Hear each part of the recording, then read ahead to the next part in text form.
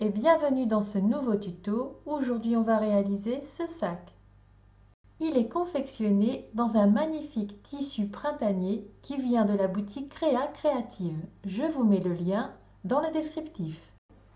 Pour réaliser ce sac, il vous faudra 4 morceaux de 32 cm sur 30 à thermocoller, 4 morceaux de 12 cm sur 30 à thermocoller, 2 morceaux de 32 cm sur 12 à thermocoller, 2 morceaux de 22 cm sur 24, un carré de 22 cm de côté, deux bandes de 8 cm sur 52.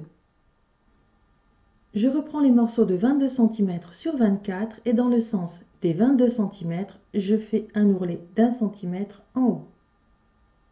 On commence par préparer les poches à souffler qui sont sur le côté du sac. On reprend le morceau qu'on vient de ourler sur le haut et une bande de côté de 12 cm sur 30, le tissu extérieur. Dans le sens de la largeur, donc des 22 cm, on va marquer le milieu et placer une épingle.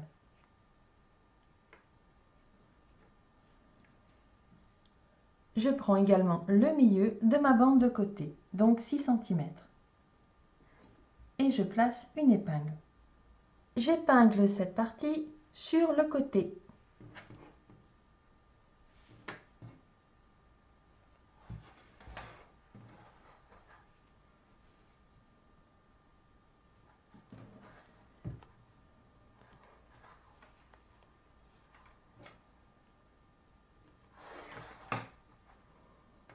Je repousse sur un côté et je vais prendre un repère à 4 cm.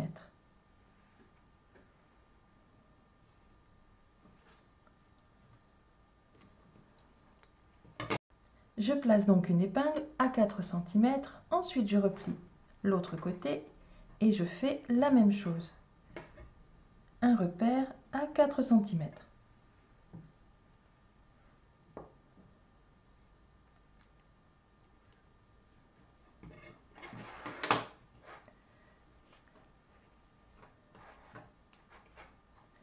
Je fais correspondre les épingles centrales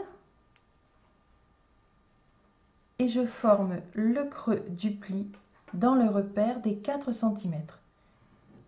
On place une épingle pour que le pli ne bouge plus. On fait pareil de l'autre côté, donc le creux du pli dans l'épingle qui est à 4 cm. Les épingles du centre sont l'une sur l'autre j'épingle mon pli. Je peux retirer ces épingles, je n'en ai plus besoin.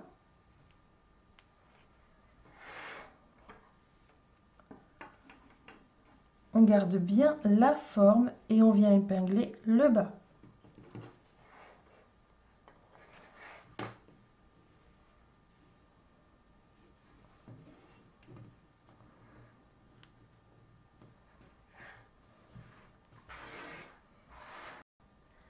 Petit coup de fer et ensuite on vient piquer à 3 mm tout autour pour pouvoir continuer de travailler sans les épingles.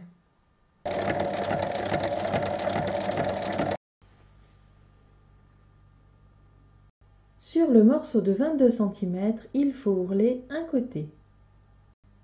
Et on fait un repli d'un centimètre sur les trois autres côtés. Sur une des parties de 32 cm sur 30, je viens la placer au centre l'ourlet est dans le sens des 32 cm et je vais la piquer sur trois côtés. On vient préparer les poignets avec les deux bandes de 52 cm. On fait un repli de chaque côté, on replie en deux et on vient piquer sur toute la longueur. On va maintenant assembler les parties intérieures du sac. On commence par prendre un des morceaux de 30 sur 32 et la base de 32 cm sur 12. Je place endroit contre endroit. Il faut assembler sur toute la longueur en commençant à 1 cm et en arrêtant à 1 cm. Je prends un repère à 1 cm, c'est là qu'il faut commencer à piquer, et un repère à 1 cm à la fin où je vais arrêter de piquer. Au début et à la fin, il faut bien faire un point d'arrêt.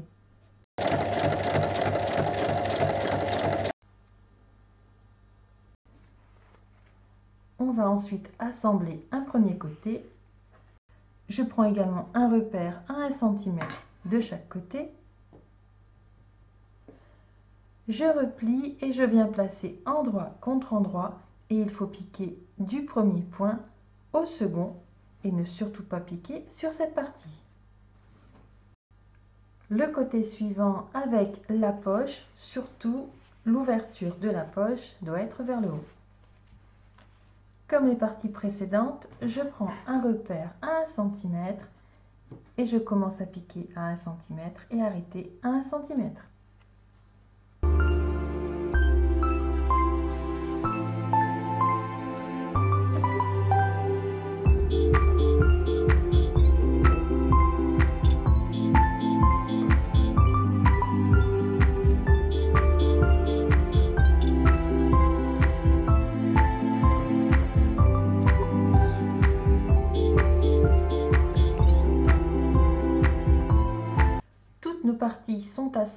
Avec le fond. Maintenant, on va assembler sur la hauteur.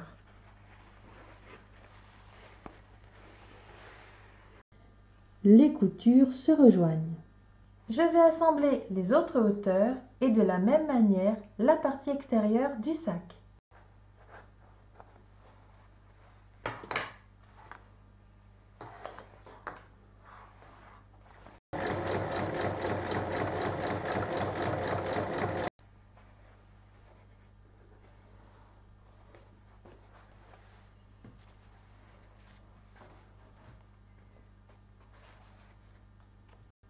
Sur un des côtés de la doublure, j'ai laissé une ouverture de 9 cm.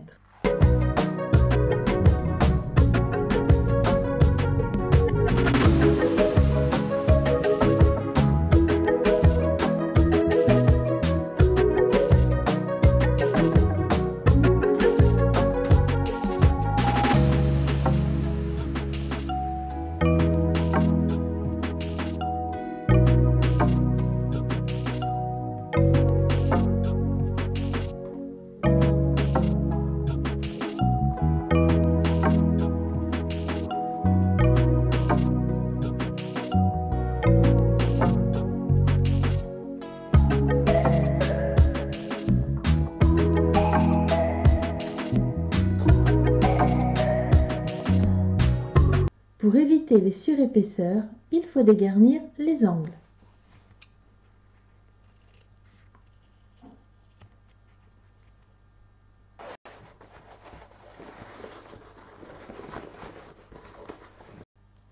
On place les poignées à 7 cm des côtés et on va les piquer.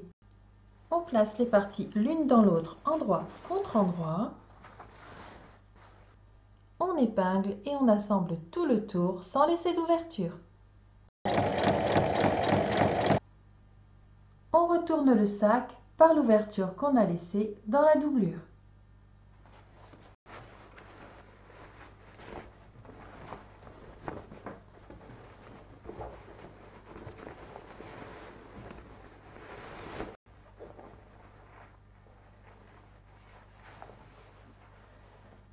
Je mets bien bord à bord et je vais faire une petite piqûre pour refermer l'ouverture qui est dans la doublure.